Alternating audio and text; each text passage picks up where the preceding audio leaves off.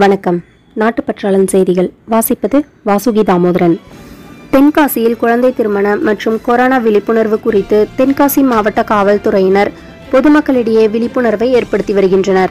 மாவட்ட கண்காணிப்பாளர் திரு கிருஷ்ணராஜ் அவர்கள் உத்தரவின் பேரில் காவல்துறையினர் அனைத்து ஊர்களிலும் பொதுமக்களிடம் விழிப்புணர்வை ஏற்படுத்தி வருகின்றனர். காவிரி டெல்டா பகுதியில் ஹைட்ரோ கார்பன் திட்டத்தால் ஏற்பட்ட பாதிப்பு குறித்து ஆராய ஏழு பேர் கொண்ட குழு அமைத்து அரசாணையை வெளியிட்டுள்ளது தமிழக அரசு. தமிழ்நாடு மாநில வளர்ச்சி கொள்கை குழுவில் பகுதி நேர உறுப்பினரான பேராசிரியர் சுல்தான் அகமது இஸ்மாயில் தலைமையில் இந்த குழு அமைக்கப்பட்டுள்ளதாக தகவல். தெலுங்கானா ஆளுநர் தமிழிசை சவுந்தரராஜன் அவர்களின் தாயார் கிருஷ்ணகுமாரி அவர்கள் வயது எழுபத்தி ஆறு காலமானார்.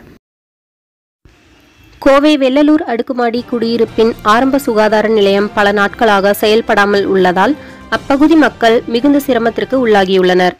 திமுக சிறுபான்மை அமைப்பாளர் டேனியல் ஜேசுதாஸ் அவர்களிடம் கூறியதன் பேரில் அவர்கள் முயற்சியில் மக்கள் நல்வாழ்வுத்துறை அமைச்சர் மா. சுப்பிரமணியன் அவர்களின் கவனத்திற்கு கொண்டு செல்லப்பட்டது. உடனடியாக நடவடிக்கை மேற்கொள்ளப்படும் என அவர் உறுதியளித்துள்ளார். தமிழக அரசின் விருதுகளை பெற விண்ணப்பம் கொடுத்து விருது பெறுவது அழகல்ல. அது இழுக்கு. இந்த நிலை மாற வேண்டும். ஒரு நல்ல கலைஞனை கௌரவித்து விருது வழங்க அவன் வாழும் ஊரில் தேடி சென்று விழா எடுத்து விருது வழங்க வேண்டும்.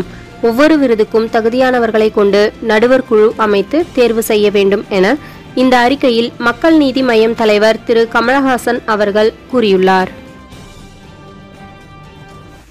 சென்னை கிண்டியில் உள்ள கிங்ஸ் வளாகத்தில் ரூபாய் இருநூத்தி ஐம்பது கோடி செலவில் பல்நோக்கு மருத்துவமனை விரைவில் அமைக்கப்படும் என சுகாதார அமைச்சர் மா. சுப்பிரமணியன் அவர்கள் தெரிவித்துள்ளார்.